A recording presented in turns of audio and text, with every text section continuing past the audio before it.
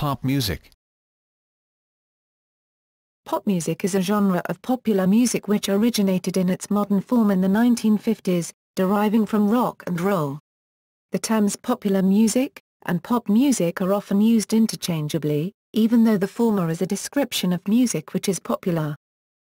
As a genre, pop music is very eclectic, often borrowing elements from other styles including urban, dance, rock, Latin and country.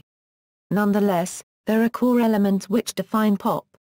Such include generally short to medium-length songs, written in a basic format, often the verse-chorus structure, as well as the common employment of repeated choruses, melodic tunes, and catchy hooks. So-called pure pop music, such as power pop, features all these elements, using electric guitars, drums and bass for instrumentation. In the case of such music, the main goal is usually that of being pleasurable to listen to, rather than having much artistic depth.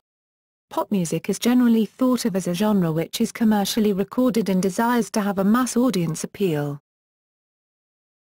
Definitions David Hatch and Stephen Millward define pop music as a body of music which is distinguishable from popular, jazz, and folk musics.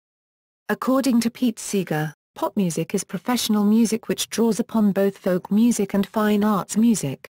Although pop music is often seen as oriented towards the singles charts it is not the sum of all chart music, which has always contained songs from a variety of sources, including classical, jazz, rock, and novelty songs, while pop music as a genre is usually seen as existing and developing separately.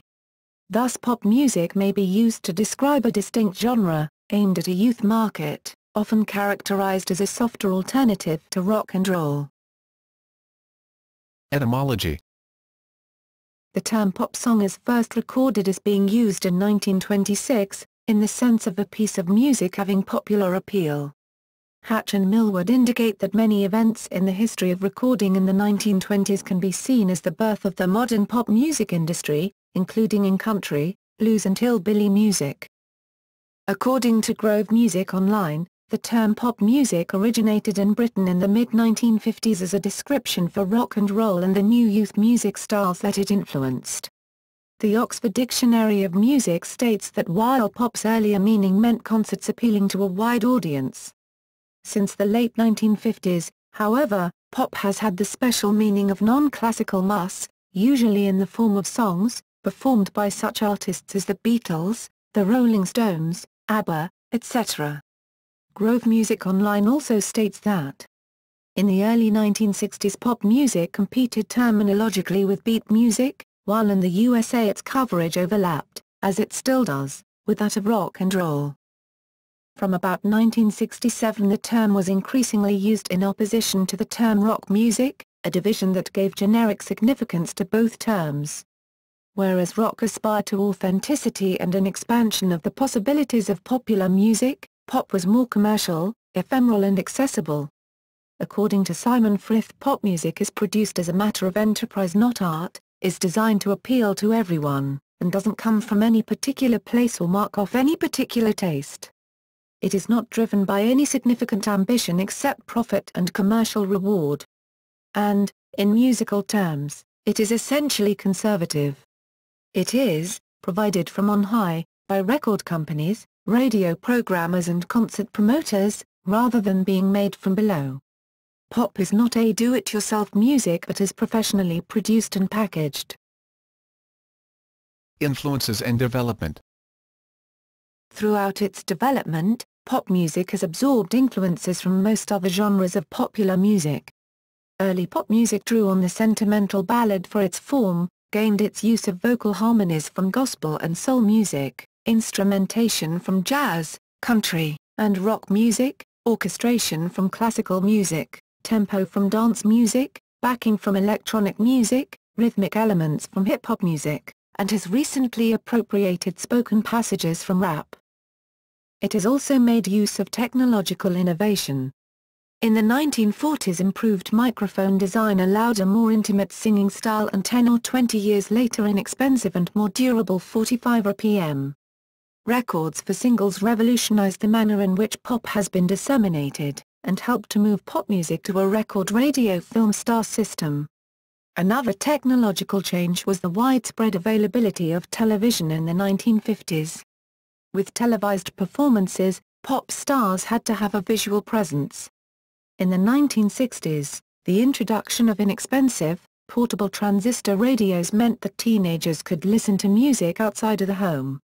Multi-track recording, from the 1960s, and digital sampling, from the 1980s, have also been utilized as methods for the creation and elaboration of pop music. By the early 1980s, the promotion of pop music had been greatly affected by the rise of music television channels like MTV, which favored those artists such as Michael Jackson and Madonna who had a strong visual appeal. Pop music has been dominated by the American and, from the mid-1960s, British music industries, whose influence has made pop music something of an international monoculture, but most regions and countries have their own form of pop music, sometimes producing local versions of wider trends, and lending them local characteristics. Some of these trends, for example Europop, have had a significant impact of the development of the genre. According to Grove Music Online, Western-derived pop styles, whether coexisting with or marginalizing distinctively local genres, have spread throughout the world and have come to constitute stylistic common denominators in global commercial music cultures. Some non-Western countries, such as Japan, have developed a thriving pop music industry, most of which is devoted to Western-style pop, as for several years has produced a greater quantity of music of everywhere except the USA. The spread of Western-style pop music has been interpreted variously as representing processes of Americanization, homogenization, modernization, creative appropriation, cultural imperialism, and or a more general process of globalization. Characteristics Musicologists often identify the following characteristics as typical of the pop music genre.